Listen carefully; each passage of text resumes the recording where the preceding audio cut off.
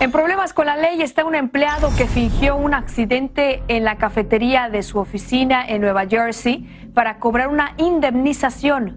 Una cámara captó el momento en el que el sujeto deja caer hielo sobre el piso y luego, como lo ve, se acuesta como si hubiera resbalado.